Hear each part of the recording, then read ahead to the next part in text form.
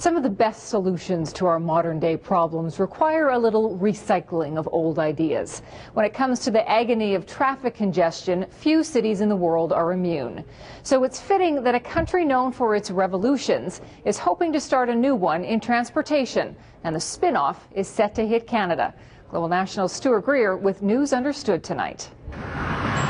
It's the latest revolution on the streets of Paris, and this one comes on two wheels.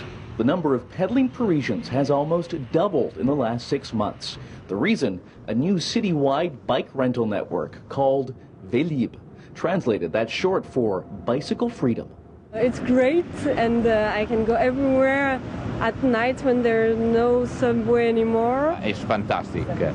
And here's how it works. Go to any of the 700 bike points in the city and insert a credit card. It takes a $200 deposit that you get back when you return the bike. And once you're assigned a number, you release the bike and you're on your way.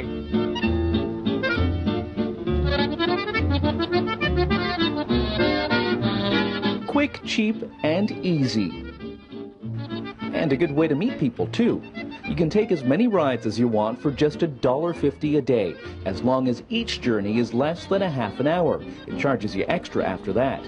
With a rental point about every four blocks, the idea is to use Vélib for short trips. Paris is hoping it will ease gridlock on the roads. The car traffic uh, in Paris is already uh, too, too, uh, too strong, too, too, uh, too heavy. Naturally, being French, though, means a laissez-faire attitude towards safety. Helmets are optional, and it seems the rules of the road are too. So, more police on rollerblades and on bikes to remind Parisians how to be responsible cyclists. There are a few glitches too. You can get stuck with a flat tire, and returning a bike can take some time if there are no free stands at a station.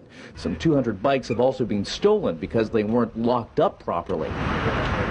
Despite a few growing pains, Vélib has proven massively popular here, and it's grabbed the attention of some Canadian cities. Toronto's transit boss visited last week, and Montreal has announced it will launch its own rental bike program next fall.